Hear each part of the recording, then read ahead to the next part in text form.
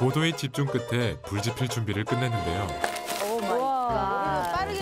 오늘 밤은 모닥불까지 피워 훨씬 더 멋진 밤이 될 것 같네요. 어 김치 진짜 맛있겠다 민영아. 이거 김장 김치야? Yes. 야 진짜 어떻게? 저녁 메뉴는 김치 넣은 부대찌개. 미도 씨가 실력 발휘에 나섰습니다. 아 그리고 나만의 비법이 있어. 맛있어? 어머. 어 내가 우리 먹으려고 갖고 온 이 유자청을 설탕 대신 설탕 대신? 아. 유자청. 우와.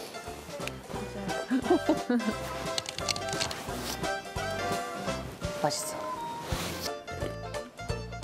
음. 유자 맛이 나네. 맛이 나면 안 되는 거 아니냐? 유자 그러니까 유자 넣은 거 맛이 없을 것 같아. 아니야 와서 먹어봐 언니. 괜찮아? 어, 어 그럼 그렇게 많이 안 나.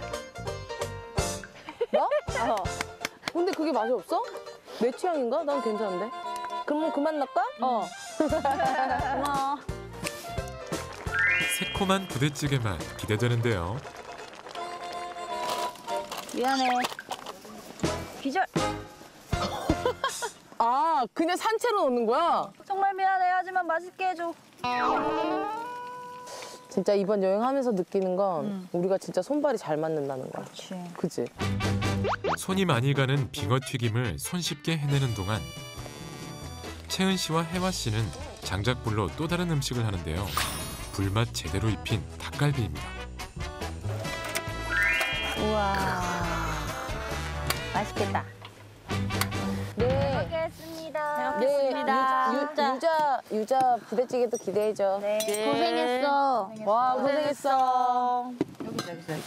이거 먼저 먹어볼게. 유자스. 여기 라면. 어 딱 좋게 어, 풀었다. 진짜 유자 맛이 나네. 그러니까 어때 그래서? 유자가 강하네. 나쁘진 않아. 그래 나쁘지 않아. 김치찌개를 먹다가 유자차를 한 입 먹으면 어, 정확해. 응, 빙어 튀김을 먹어봐. 알았어. 열. 바삭해 아직도? 와 되게 잘 튀겼다. 진짜 잘 튀겼다. 음, 그지? 음, 맛있어. 뭐가? 이거 이거. 닭갈비? 어, 음, 맛이 없을 수가 없지. 숯불에 구웠는데. 완전 맛있어. 불맛을 입혔는데. 음, 우와. 이거요? 소꿉 장난하듯 아기자기하게 차려낸 저녁. 나눠 먹는 재미에 마음까지 푸짐.